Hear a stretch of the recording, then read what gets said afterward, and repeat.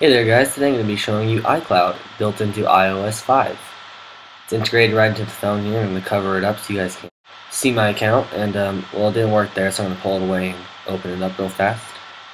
Alright, once we get inside you can sync your mail to iCloud, your contacts from your phone, your calendar, reminders, bookmarks, notes, photo stream, which I'll click on right here.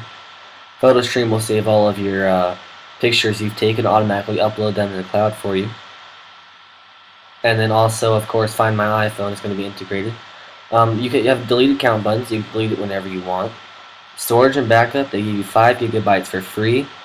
Um, I have 4.4 available for me. Uh, after it gets released, you can manage the storage and buy more.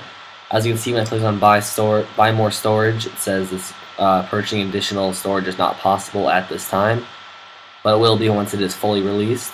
At the bottom it shows me how much I've used. Uh, you can scroll down, I can back up to iCloud, so I back up my iPhone to iCloud for people who don't have computers. This will be great for you. You can start backing it up. The first backup is obviously going to take you quite a while. It took me about 40 minutes to do my first backup over Wi-Fi. And because um, backing it up is, it's kind of slow. And uh, as you can see, you get 5 gigabytes free, of course, as I said.